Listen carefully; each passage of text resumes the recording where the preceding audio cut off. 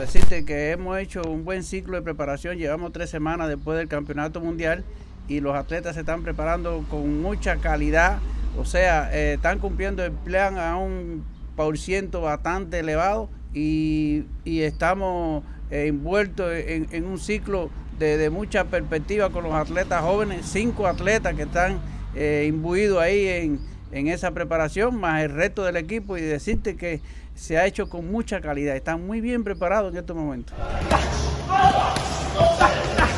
Después del campeonato mundial, que fue un evento de máximo nivel, ¿no? Pues ahora vamos a hacer un escalón centroamericano, panamericano y ahí pues someterse a los Juegos Olímpicos. Pienso que sería muy conveniente, puesto que a ellos les hace falta eso. Me dice desde ahora, desde el área, para ir ascendiendo y llegar a la cúpide olímpica, que es que como que como quiera que sea es la olimpiada es el nivel máximo de, que aspira cualquier atleta a una competencia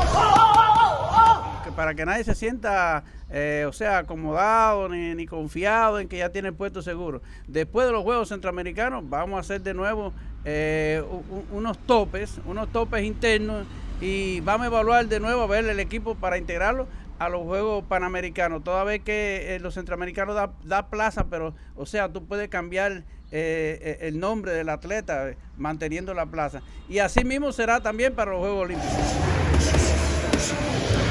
Todos aspiramos ahora en los Juegos en los Juegos Centroamericanos, lógicamente, pues dominar como país y, y aportar el mayor número de medallas para la delegación cubana. Vuelvo y repito, los atletas están con tremenda disposición y vamos a ir por todo, independientemente de que tenemos un pronóstico, porque estamos respetando objetivamente algunas figuras, algunas individualidades que hay en el área que tienen calidad y que son conocidos por toda la afición a nivel mundial.